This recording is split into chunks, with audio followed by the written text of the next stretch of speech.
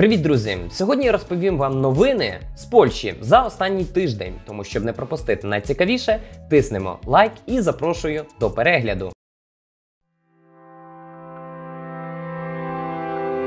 А перед тим, друзі, як ми розпочнемо, традиційно запрошую вас до нашої спільноти у Вайбері, наші в Польщі, де нас уже понад 15 тисяч учасників, і посилання ви зможете знайти в описі під цим відео. Перша новина полягає в тому, що за останню добу в Польщі захворюваних на коронавірус понад 15 тисяч осіб. 44 з них померло від коронавірусу.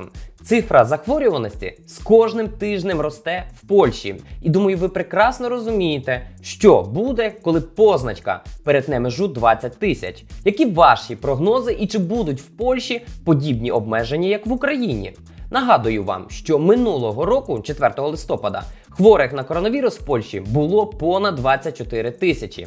Напевно, вакциновані громадяни менше хворіти стали, або ж польська влада занижує цифри. Один Дуда знає відповідь. Друга новина, друзі, полягає в тому, що, попри всі скандали між Польщею та Євросоюзом, співпраця між ними триває і надалі. Про це свідчить транш понад 37 мільярдів євро, які будуть виділені Євросоюзом для будівництва мережі зарядних станцій для електромобілів. Все-таки Польщу, на мою думку, та моїх друзів думки, е, не виключать із Євросоюзом. Також багато іноземних компаній присутні на польському ринку, і до того ж.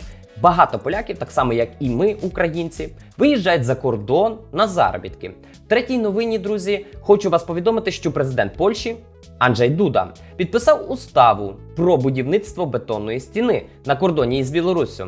Кошти сягають понад 1 мільярд євро, і, звичайно ж, Євросоюз не дав грошей. А отже, Польща буде боротися із мігрантами власноруч. Хоча Якщо ми згадаємо, що в Туреччині 2017 року було щось подібне, побудували бетонну стіну протяжністю 330 кілометрів на кордоні із Сирією. Ще рік тому ніхто із нас, чи тих самих поляків, і подумати б не могли, що на кордоні із Білоруссю повстане бетонна стіна. І ось завершується, друзі, наш випуск. Якщо інформація була цікавою для вас, ви завжди можете підписатися на канал, поставити лайк цьому відео та поділитися цим відео із вашими друзями. Ну а наразі, друзі, у мене все. Всім дякую за перегляд та побачимося у наступному відео.